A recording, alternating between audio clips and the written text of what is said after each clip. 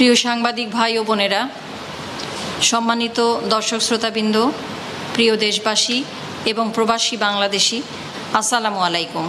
আজ চব্বিশ ফেব্রুয়ারি দুই রোজ বৃহস্পতিবার। গত চব্বিশ ঘন্টায় সারা বাংলাদেশে মোট নমুনা পরীক্ষা হয়েছে সাতাশ হাজার চারশো চৌত্রিশটি। পরীক্ষার অনুপাতে শনাক্তের হার পাঁচ দশমিক পাঁচ তিন শতাংশ। গত চব্বিশ ঘন্টায় নতুন করে শনাক্ত হয়েছেন এক হাজার পাঁচশো ষোলো জন। এই নিয়ে মোট শনাক্ত হয়েছেন উনিশ লাখ উনচল্লিশ হাজার ছয়শো একান্ন জন। গত চব্বিশ ঘন্টায় সুস্থ হয়েছেন ছয় হাজার চারশো উনষাট জন।